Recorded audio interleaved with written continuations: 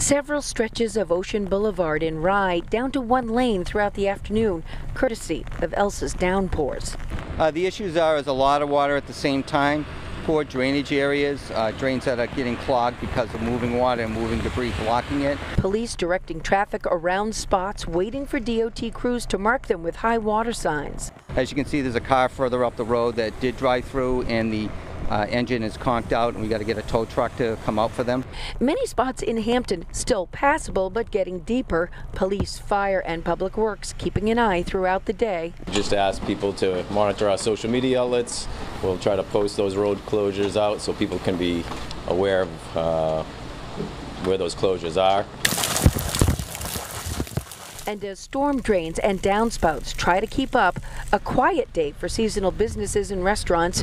A few folks have been out and about braving the downpours, but the majority because they were working, like this ice cream delivery man. That could come in handy this weekend. Tomorrow we'll have some post-storm surf conditions that are really going to draw folks out because the weather's supposed to clear up.